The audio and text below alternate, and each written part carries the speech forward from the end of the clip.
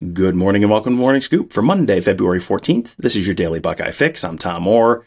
The spring game is in 61 days, the Notre Dame game in 201 days, the game against Michigan in 285 days. As we promised you late last week, there are several new Ohio State assistant coaches you have not heard yet from on the show. Today is that day. On Thursday, you get an in depth look at new defensive coordinator Jim Knowles. Today, you'll be hearing from the other three new assistants offensive line coach Justin Frye, cornerbacks coach Tim Walton, and safeties coach Perry Eliano. We'll start with Eliano. He was previously an assistant under Luke Fickell at Cincinnati. The Bearcats produced a Thorpe Award winner and a likely first round pick out of their secondary last season and made the college football playoff as well. Still, Eliano knows that walking into schools now with that block O on his chest is going to open even more doors extremely exciting. I mean, one, humbling, but extremely exciting, you know, to have the resources, you know, the Ohio State, you know, behind you to go into any home, any school, you know, and say, hey, you want to play at the best school in the country and play for national championships year in, year out and be able to get a quality education and live your dreams and goals. I mean, that's that's that's that's hard to turn down. Plus, get developed. You know, I think that's the main, the, the, the, key component is not only going to a great school like this and, and having the opportunities on the field, but have an opportunity to get developed to be the very best and maximize your God-given ability. Eliano coached cornerbacks at Cincinnati, but will be coaching the safeties at Ohio State. That's because Walton will be handling the corners. Having two coaches for the defensive backs is something that might be necessary because of the very different roles that those position groups play. But it also means that those two coaches have to work very closely together. Here's what Eliano had to say about that. You know, we, we all have our specialties as far as, you know, I'm coaching the safeties, he's coaching the corners, but at the same point in time, we're a secondary, you know, and I think that's extremely important, just, just my time as a coach, that those two entities work together. It's just like when I was at Cincinnati, um, you know, I coached the corners and we had a safeties coach. We still are one. And the cool thing about me and Tim is, you know, a couple years ago, we did a professional development uh, you know, seminar in Miami. And uh, so this is not my first time, you know, working with him. And uh, we hit it off and had great chemistry. So fast forward to now, we're working together side by side. And so it's not a corners as safeties. Yeah, we have our position, but at the end of the day, we are a secondary and we are defensive backs. And uh, I'm just excited to uh, pull from him and, you know, vice versa. Eliano got a unique perspective on the Ohio State program because of who he had worked for before. That, of course, was Luke Fickell, who was a player, assistant, and briefly a head coach with the Buckeyes over the years. So, did Eliano get any insights or warnings about what it's like to coach in Columbus? Not, not really warning label. You know, I, have been doing this for a long time, and you know, you know the expectations. Uh, you know, and for me, I've never ran away from expectations. Uh, you know, I'm the ultimate competitor. We always talk about is the player a competitor? Well, coaches are competitors too. And uh, for me to have the ability to coach here and you know, coach at the highest level and coach big games. And the expectation here is to win national championships.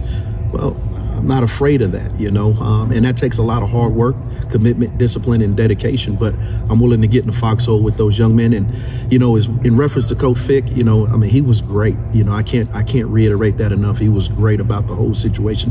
He understood and. You know, uh, he wished me the best and obviously didn't want me to leave, but at the same point in time, he understood.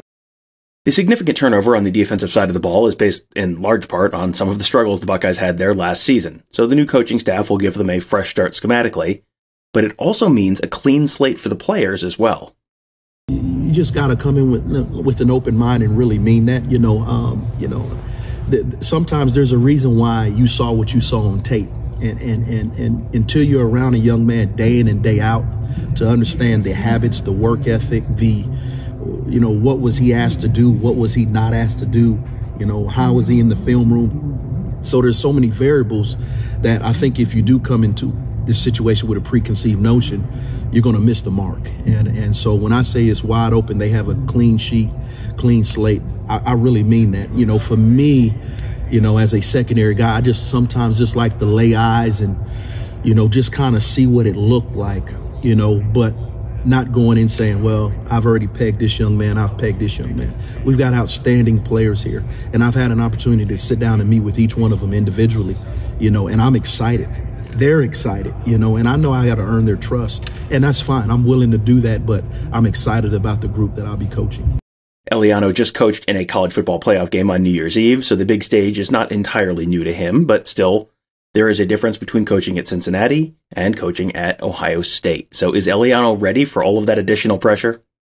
As a competitor, you want to be the best, you know, and I had an opportunity uh, at Cincinnati to know what that feels like, looks like. I, I, you know, pressure's a privilege. You know, I don't want to be somewhere where the expectation is not to win championships, you know, whether it be conference championship, national championship. I don't want to be at a place where the expectation is not to develop your players to be the very best they can be, which ultimately would be the very best in the country. So for me, having that experience, um, you know, at Cincinnati and being under Coach Fickell and understanding that, you know, every day, you know, there's an expectations of excellence. You know, that's that's been the norm for me. So for me to come here and and say, hey, you know, the expectation is to win a national championship. The expectation is develop these guys to be the very best they can be. That's how I'm built, you know, and so I'm looking forward as a competitor myself, not just a coach, but as a competitor to, uh, you know, roll my sleeves up and, and, and dive head first to let's go to work and, and, and let's get this thing right. Eliano's partner in the secondary is Tim Walton. He has coached in the NFL every season since 2009, but of course, played his college ball at Ohio State in the early 90s. So, what has the transition back to the college game been like for him? Uh, it's awesome, man. You know, getting a chance to come back where you play football at and uh, get back over the, on the old, old turf uh, is exciting. Is this something that you dreamed of? The opportunity to come back and coach here at Ohio State? Well, at one at one point, uh, you wanted to come back. You know what I mean? Uh, so it hit at the right time to get to get a chance to come back here. You know, anytime when you spend your college years here at a at a, at a you know a, a extremely um, exciting career here. Um, met a lot of great people. Um, you know, uh, it's a lifetime journey when you're here. You know, you're family for life here. So, you know, it's a lot of former players uh, still live here in the area. So it's, it's been exciting to get a chance to come back to that. It's a dream come true to come back uh, to a place that you uh, you basically kind of grew up as a young young child, young man uh, at. Recruiting is very different now than it was the last time Walton was a college assistant back in 2008. So, what has that, that been like for him since he came back to Ohio State? Yeah, because you know now it's such a, a social media, uh, Instagram, Twitter. You know, it's, it's kind of that era now. And you know, back then it was it was it was a lot more basic. Um, and you know, just getting back into the back that you know, getting on kids a lot earlier. You know, just the, the mindset of them. But it's been you know, the relationships are relationship. That part never changes. So you know, if you develop relationships with guys and you know. Um, at a place like this, you know, the school sells itself.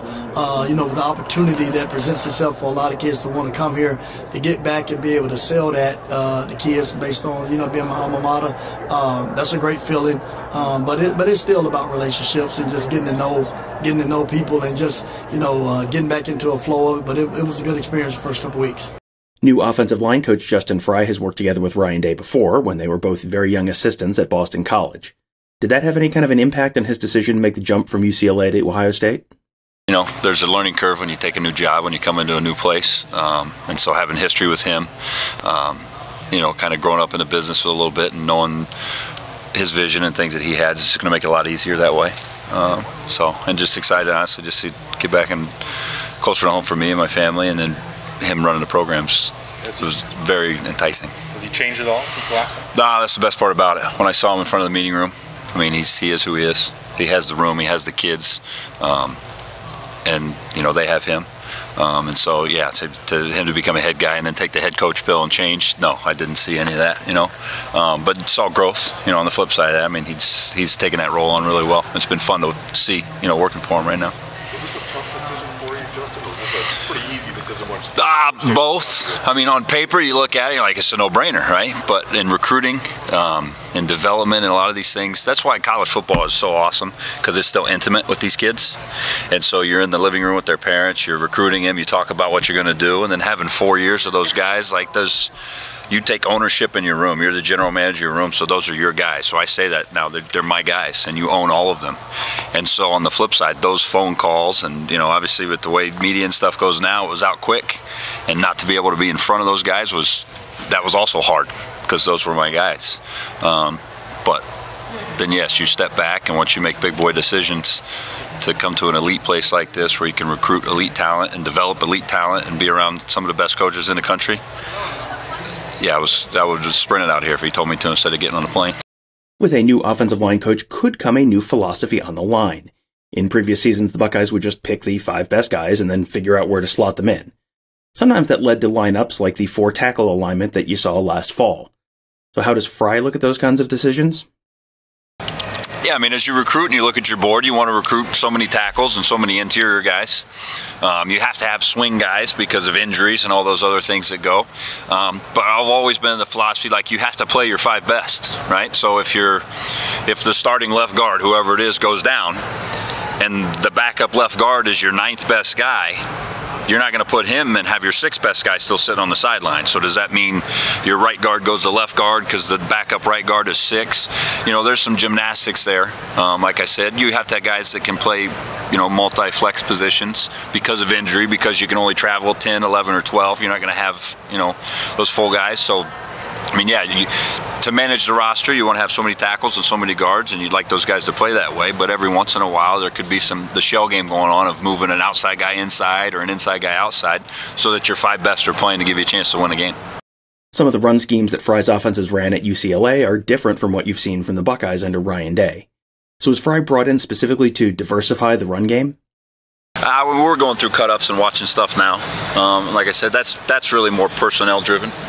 So what your guys do well and how you can put them in the most opportune position to do that. I mean, I yeah, my book of work, I've been able to do 22 personnel to 23. I mean, when Ryan and I were together at Boston College, we lined up with Andre Williams and we had three tight ends, a fullback, and a tailback on the field and at the 50-yard line. So people would line up in goal line defense, but that's who we had and what we did, and so we got really good at that. Um, so you know that's a long-winded way to say, no, not really a specific thing. It's just going to be a matter of seeing what we have, what they do well, and then how do we maximize that and window dress that and whatever the case may be getting into that moving ahead. Well, again, I hope you guys enjoyed that. Always nice to uh, kind of get to know some of the new guys who are sort of maybe just names or kind of vague ideas. Uh, get getting to hear directly from them, you kind of get a little more of a sense for who they are in terms of uh, personality, some of their uh, thoughts and philosophies as coaches and, and that kind of stuff. So hope you guys enjoyed that show. We'll be back with another episode tomorrow, of course. Um, and make sure you, uh, while you're waiting for tomorrow's episode, you can listen to some of our, our other great podcasts. You can find them wherever you're listening to this one. Buckeye Weekly, Tony Gerdeman and I do that one. Around the Oval, Alex Gleitman does that one.